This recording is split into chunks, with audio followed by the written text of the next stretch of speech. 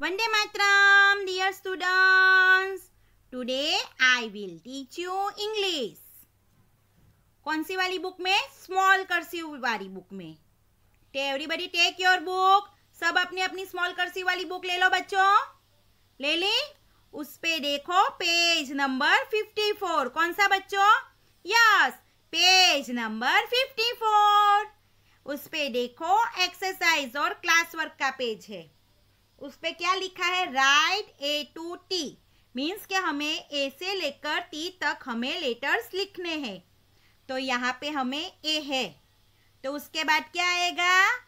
B for ball next C for cat D for dog E for for fish. G for grapes. H for house. I for ice cream. J for jug. K for kite. L for lamp. M for monkey. N for nose. O for orange. P for parrot.